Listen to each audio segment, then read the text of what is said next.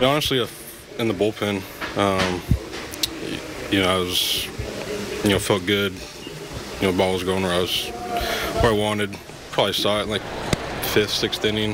Um, I mean, everybody says they they don't think about it, but once you get, you know, the fifth, sixth inning, you you can't help but think about it. And um, but once you get out on the mound, you you kind of forget about it and just just try to do what you've been doing to, to get to that point.